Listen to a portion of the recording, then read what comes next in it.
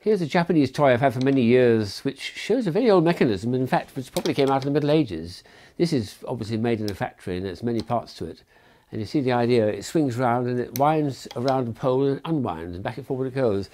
But still available and still being made by in craft toy markets. There are a whole series of the same thing. Some people just call it the swing thing. Um, I don't know what else to call it. And the idea is you're supposed to wind up the, the, uh, the piece of friction. I'll do it this way like this actually, it's a quick way of doing it. In order to get some energy into the elastic. And when you release it, the ball at the end will, just like with that penguin, will whiz round back and forward, winding and unwinding on the pole. Here it goes. Let's do it.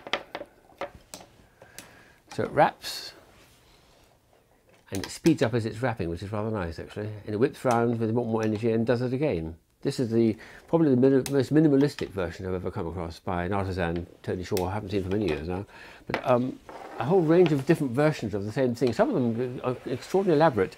This one here, which is interesting, it's got two, and what happens here is that once you set the thing going, you find that um, you the there has to be some synchronization because if there isn't, there's one unwrapping, it reaches the end, it tries to fly off, but it can't because the other one's still attached. We'll see if we can get that effect with this one here working.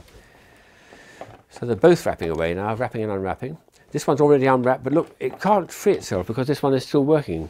So it's going to do a few more jigs before its partner is ready to go, and away it goes. And this time it's missed it.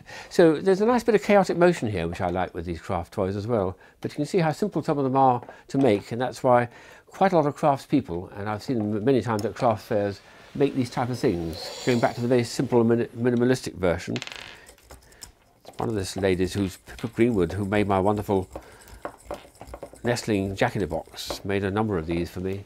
And this is the most vigorous one she ever made, I think it was. It's got a lot of energy, this one here. It helps also to have an el elastication on the, um, on the piece of string there that's holding the, the, the ball, because it, it, means there's a little bit more energy as it unwraps itself. That's got a lot of energy to it. And then there's a very elaborate one here with a deep black one that's going to do a performance as well, hopefully.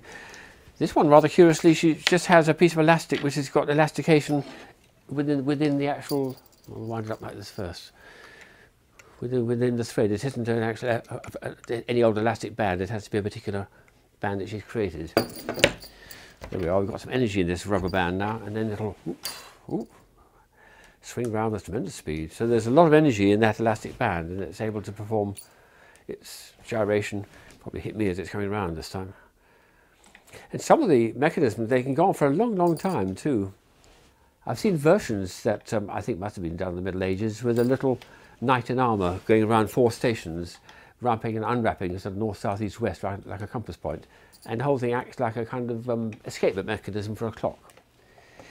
So, a, a great little toy this, um, and something that uh, anyone with a bit of uh, craftability could easily manufacture themselves at home in their, in their home workshop. The swing thing is all I can call it. I love it.